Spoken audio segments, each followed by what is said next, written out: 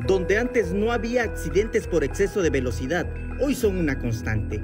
Cuatro en un solo mes, desde que se inauguró. Se trata de la zona donde se construyó el puente vehicular de Libramiento Sur y Once Poniente de Tuxtla Gutiérrez.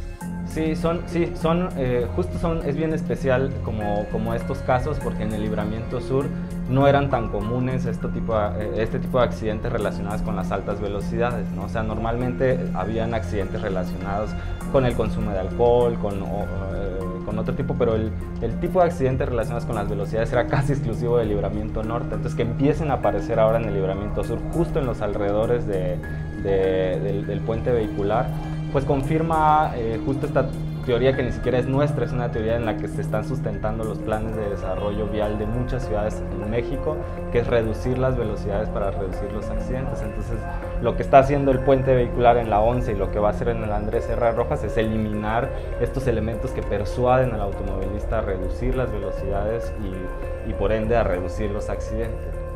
Activistas y organizaciones de urbanismo fueron insistentes en plantear a la Secretaría de Obra Pública que lidera Ángel Torres Culebro en conocer información que sustentara la viabilidad de las obras, pero el funcionario determinó que no debía hacerse pública. Es más, fue catalogada como de seguridad pública. Nuestro interés tiene un sustento tanto enmarcado en el cambio climático como en la movilidad de la ciudad, ¿no? tiene, tiene, tiene un sustento técnico y queremos que lo que se construye, que se construye al interior de la ciudad esté, esté, fundado en esto, ¿no? O sea, tenga estudios de aforo vehiculares, tenga estudios de impacto ambiental, tenga estudios de cuál es eh, su, eh, si su impacto respecto a los, a los habitantes de la zona.